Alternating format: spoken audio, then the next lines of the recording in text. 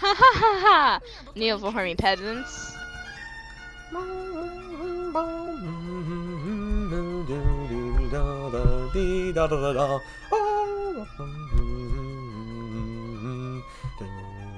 Upon a time in a land so far away, there is an evil kingdom that no person dared to face.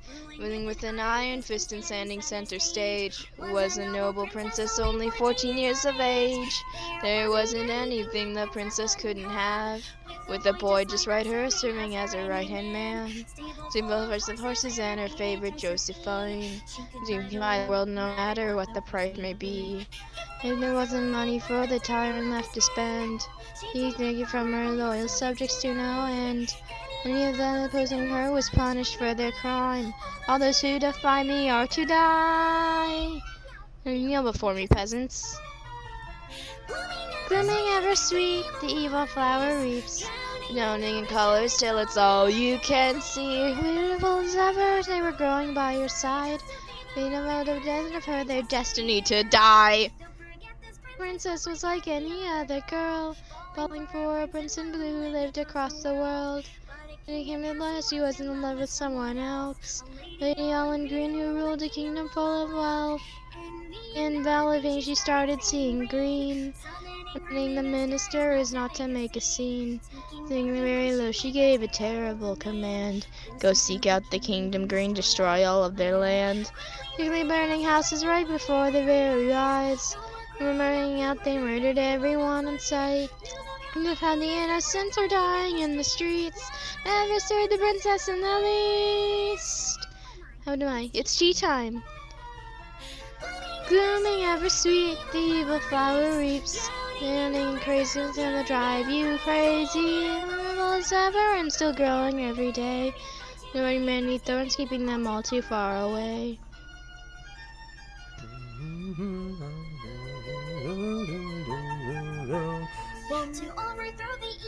We throw the evil princess high above, taking from the streets that all they had enough. These mentioned princes that show more the mob in red, was a noble dame in armor coming for her head, angry from all many years of suffering in vain, running the king's people in a wild rage. Those also fired from a long and violent war, didn't have the energy to even hold a sword.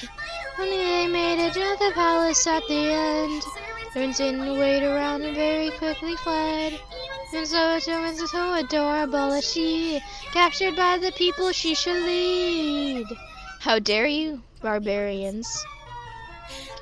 Learning ever deep to the evil flower reaps, drowning in clothes throwing sad and weeping. Heaven of paradise created by your mind, everything will crumble in this fleeting dream of lies. Upon a ten minute land so far away, there's an evil person no not person dare to face. Running with an iron fence and standing center stage was a noble princess only fourteen years of age.